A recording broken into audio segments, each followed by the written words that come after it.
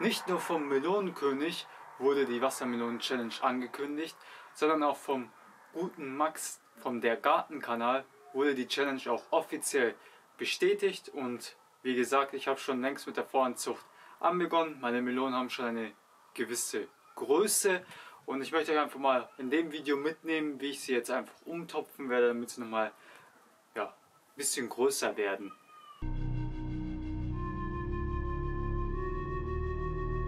Hallo und herzlich willkommen hier auf diesem Kanal. Es freut mich wirklich sehr, dass ihr bei diesem heutigen sonnigen Wetter eingeschaltet habt und ja, ich möchte euch einfach heute mitnehmen, wie ich diese kleinen Melönchen umtopfen werde. Ich werde dann auch im Anschluss Gurken pikieren, oder sie, weil ich sie in mehreren, ähm, weil ich mehrere Samentöpfen reingesetzt habe, dass ich sie in einzelnen ja, Töpfen separat reinsetze damit die halt nochmal einen extra Wachstumsschub bekommen.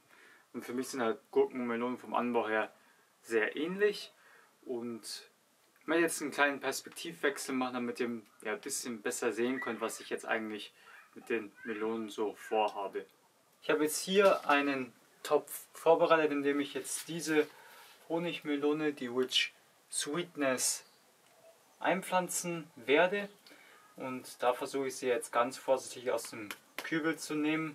Also die erste Pflanze, die ich gerade pikiert habe, die, da ist, ist es eher weniger vorsichtig vonstatten gegangen. Da kann ich vielleicht auch mal so einen kleinen Ausschnitt machen, da ist, die, ist mir der Topf aus der Hand geflogen. Aber jedenfalls sind ähm, die Melonen sehr empfindlich und so ungefähr schaut die aus. Schöner Wurzelbein hat sich auch gebildet und wie gesagt ganz vorsichtig versuche ich sie jetzt hier in den größeren Topf reinzusetzen. Sie ein bisschen anzudrücken. Dann auch nochmal ein bisschen mit Erde begießen. Das Substrat das ist eine Mischung ähm, von ganz normaler Pflanzerde und unserem Kompost. Und die Melone werde ich dann jetzt noch im Anschluss angießen dass er noch schon mal einen guten Start für das Wachstum hat. Und dann natürlich für die Beschriftung werde ich dann hier noch solche Namensschilder anbringen, die hat mein Vater geschnitzt. Ähm, für mich dankenswerterweise. Und da werde ich dann jetzt einfach den Namen draufschreiben, damit ich weiß, welche Sorte das natürlich ist.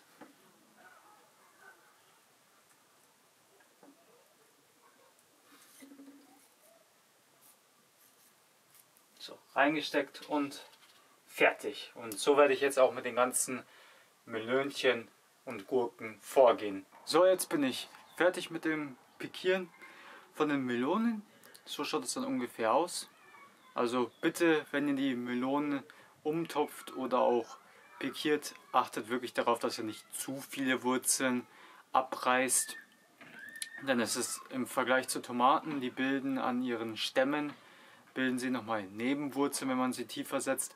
Bei Melonen und bei Gurken ist das nicht der Fall. Also ihr könnt sie zwar tiefer setzen, aber da ist auch die Wahrscheinlichkeit höher, dass sie am Stiel schimmeln oder es einfach nichts passiert. Also die bilden am Stiel keine Seitenwurzeln und wenn ihr sie zu stark verletzt, dann können sie natürlich auch eingehen oder haben dann, ja, dann macht ihr euren Vorsprung von der Vorzucht ja wieder weg, weil die Pflanzen wieder den Schaden ausgleichen müssen. Aber so prinzipiell sehr achtsam und behutsam mit den Pflanzen umgehen. Viele sagen auch, dass ähm, Gurken und Melonen es nicht mögen, ähm, sie umtopfen oder zu, ähm, zu pikieren. Wie gesagt, immer vorsichtig und behutsam sein, habe ich schon öfters gemacht, dann funktioniert das auch. Und wie gesagt, ich habe sie jetzt hier in diesen Kisten reingestellt und so werde ich mit meinen Melonen und meinen Gurken auch vorgehen. So ein bisschen rumpicken, weil ich halt nicht alle in einen separaten Topf rein, also einsam in einen Topf reingemacht habe. Das habe ich bei vielen gemacht. Ist auch sehr sinnvoll, damit die Pflanzen auch genug Platz haben. Aber bei manchen habe ich auch wirklich zur Sicherheit zwei oder drei reingetan, weil ich auch im Gewächshaus am Anfang Mäuse hatte und die haben sich dann an die Samen bedient und auch zum Teil welche aufgefressen. Aber sonst ist das jetzt so der ja, Werdegang oder der Fortschritt für die Melonen-Challenge. Gerne würde ich mich über einen Daumen nach oben freuen.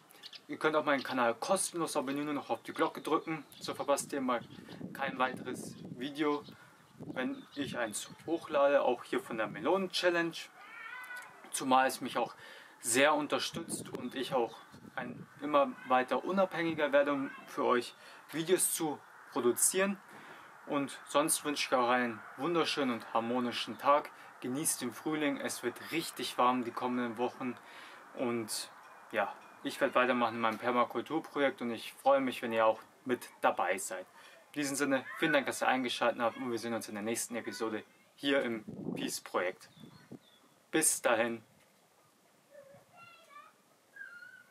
Ciao. Und ja, ganz einfach versuche ich die Pflanzen ganz vorsichtig, weil Melonen. Ups.